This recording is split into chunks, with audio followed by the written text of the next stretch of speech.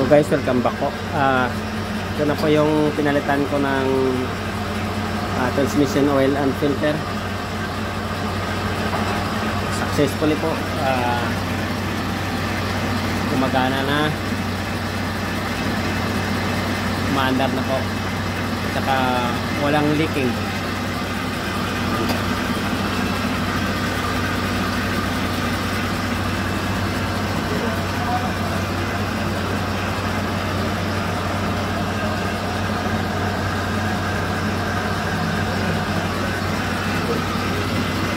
Po, umandar, umandar na po yung makina.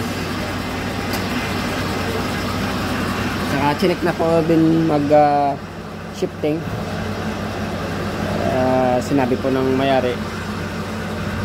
ah, he said ah, very good. The shifting is okay.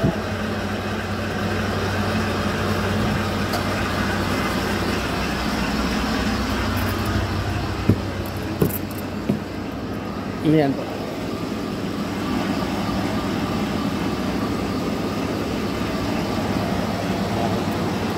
Ford 150 XL.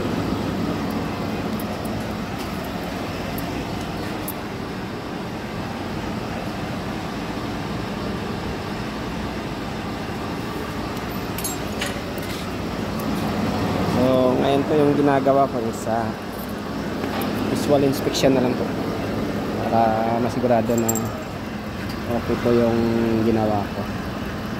Saka inaantay ko na rin po siya na uminit ng todo para malaman natin kung may leak ba or wala. Sabay lang po guys.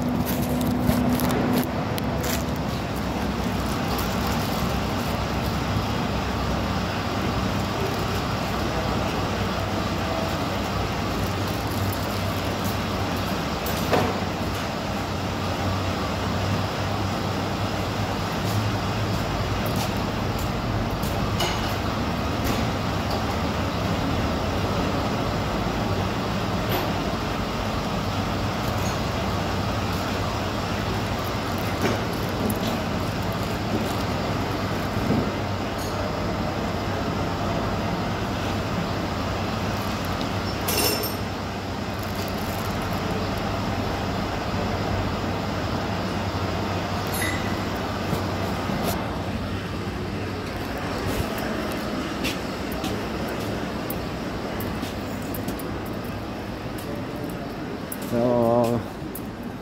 pupunta naman po ako sa dati ko pong ginagawa na. Is, Kulang pa yung mga accessories.